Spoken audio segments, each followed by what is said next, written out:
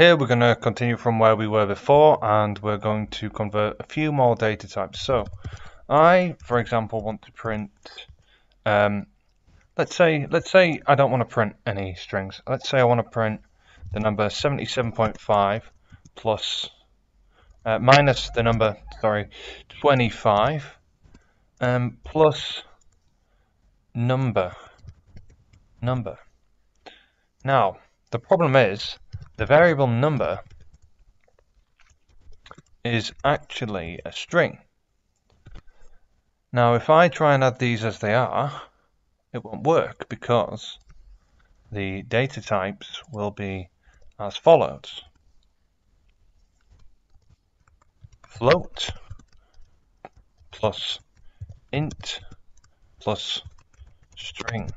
And what I want is either float an int an int or float plus float plus float or int plus int plus int. I basically want these three to be either float or int and I don't want this string to be here. Fortunately, I can actually convert the string into an int. Is here there or float? So print 77.5 minus 25 plus float number. This should work because I've converted the number into float. Let's try it. There we are, and that's the proof that it's working. So this has now become float plus int plus float. And let's try it again, except this time I just want to test my theory that I can turn that into an int instead of a float. So int of number, and let's try that again. It still prints. So it doesn't matter what combination of float and int it is, because Python can handle those two different data types, and it just can't handle other different data types. Okay. Now let's say I have another number. Let's call it number two and that number is 78.9 and I don't want a floating point number. For some reason I just want that to be an int yeah? It just has to be an int. I don't know why. Maybe I've got some crazy compulsion that forces me to see that forever as an int. Well I can actually turn it into an int. So the int of 78.9 printed is 78. I don't actually have to print it. I can actually um, go here to the console and just make an int of uh, 78.9 and see the result but I'd rather print it because it stops people from being lazy. Now this print statement here, this integer conversion, has turned it to 78 whereas you might want it to be uh, 79. There are ways to do this, but I'm not going to show you that in this video. I'm going to cover a maths video at a separate point. But anyway, this is what will happen if you convert a float into an int. You can also convert ints into floats. So let's say number equals 99. No, number 3 equals 99, sorry. And we want to convert that into a float we simply just do, I'll do the print statement. We don't have to do a print statement, as I've said. Float of number three. I could just, and I will do it here, float of number three. And this should come out to 99.0. Oh, I haven't defined it yet. Sorry about that. Yeah. Float number three. Boom. What? What? Nothing. Nothing, I get nothing. What? What? What? Nemrint is not the...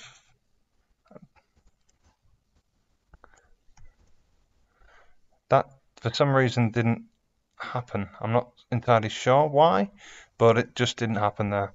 But anyway, in the print it's happened, so it is 99.9. Uh, zero to confirm. So those are just a few new uh, new conversions I, I kind of wanted to come across. That's that's that's it really in terms of conversions. The next thing really I want to get into is uh, actually going to be variables, changing variables or using variables in different ways. So let's make a variable called Gertrude number. I've spelt that really badly, but that doesn't really matter. It's not really the point of the video. In fact, I'll spell it properly for those of you who have problems with the English language. Gertrude's number. Uh, let's say I want Gertrude's number to be equal to number 2 uh, plus number 3. I don't want it to be equal to 84 anymore, right? Let's uh, just check the value of Gertrude's number. Check that it is 84. So it is 84. There's our checking. Now, I want Gertrude's number to be equal to 99, no, number 3, sorry, plus 78.9. No, plus number 2, sorry. Oh, I'm just so swamped today. Look at this. Look at all these bloody mistakes I'm making. Gertrude's number is number 3 plus number 2. So that should be like 177.9 uh, or something like that. So let's have a look now what Gertrude's number is. Um, copy and paste that there. Gertrude's number 177.9 exactly. Right? I can now change these numbers and Gertrude's number will also change. Right? Don't really need that print statement, but I'll keep it there. Gertrude's number is now equal to number. Well, actually, let's print out Gertrude's number now. Do you think it'll be this new number, or do you think it will be 177.9? Let's see. It's 177.9. The reason is because we haven't registered the new assignment. So we've given it the value of the uh, number 2 and number 3 before we change their values. So we have to reassign this value.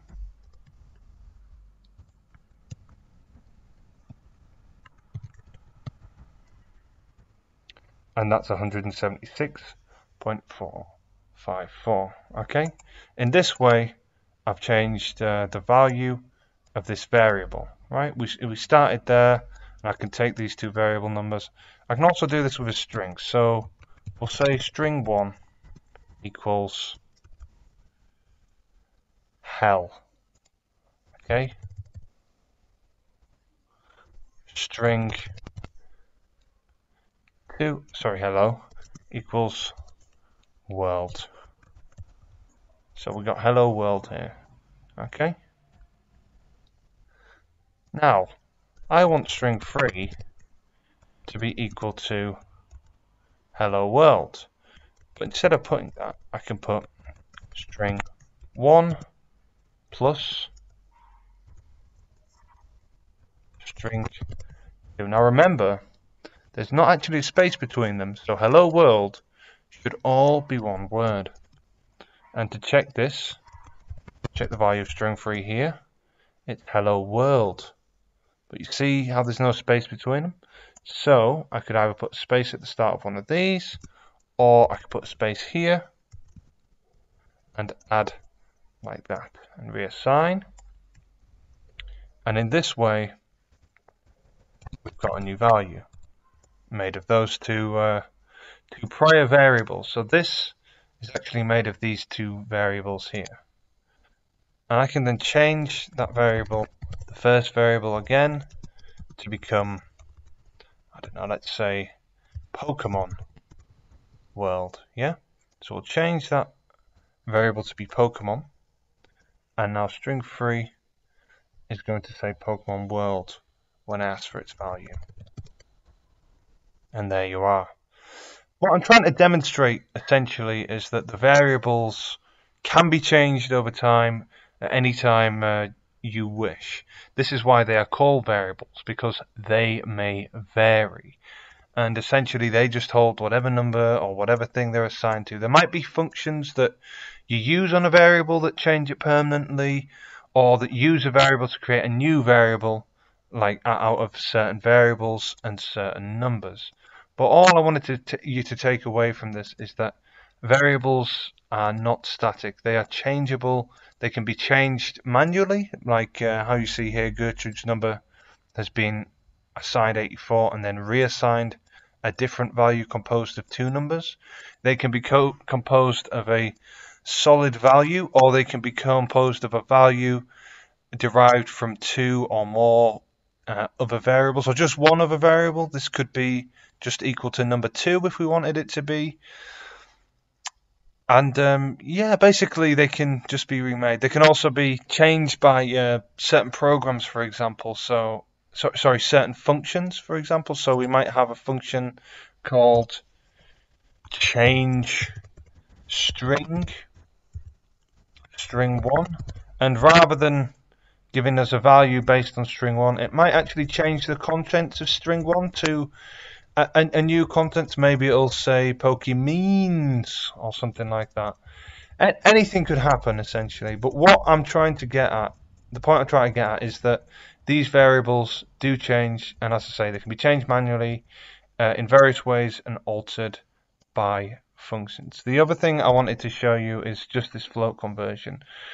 And also that, that it's important to carry on this uh, kind of table of conversion if you ever want to convert values. That's about all.